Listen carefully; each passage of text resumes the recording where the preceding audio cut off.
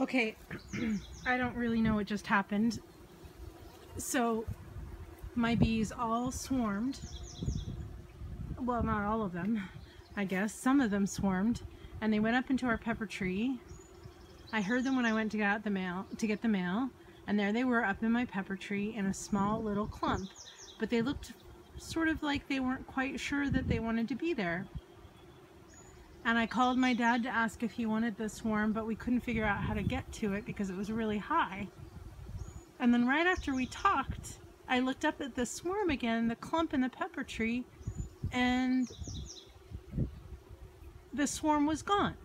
And so then I watched the bees and I watched them um, I watched them all leave and go over the house and they were like circling around the above the house and circling and circling and circling and I was like well maybe they're gonna go somewhere else. Maybe that wasn't a good place and they're gonna go somewhere else and I should watch and see where they land and then my dad could collect them and he could have them because he lost one of his hives this year.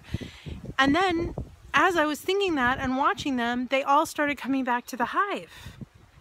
They all came back. And the only thing I can think is we've had mixed weather today rain sun and it's really windy right now. You can see it's really windy and that pepper tree wasn't very, it's not, it's pretty flimsy up at the top. And maybe it was just too windy for them and they decided to come back and maybe they'll try again tomorrow? I gotta do some research. But I'll show you how uh, they're still dealing with the wind. Look at this. A leaf has fallen here because of the wind and a seed pod or a seed from the catalpa tree has fallen here because of the wind and they're trying to get it out. I wish I could help them, but I don't want to upset them right now. They've been through enough today. But now they're all going inside. You know, what's really strange, really, really strange is that they've been bearding a lot lately, and they usually only beard if it's hot weather and they're trying to cool down their hive. Now, they didn't beard when I put the Apiguard in two and a half weeks ago. I mean, they bearded a little, but not much, and I expected that because they don't like the smell. But they've been fine. Everything's been fine. And I didn't put any more Apiguard in because it was supposed to rain this week and I didn't want to trap them in there with that smell. But then all of a sudden last night and this morning I noticed a big beard on the outside of the hive all night. And I thought, that's not right. Something's wrong here. And, and Tom noticed it too. And so I was concerned. I think I was concerned that something was going to happen. And so it didn't surprise me entirely when I went out to look at that swarm.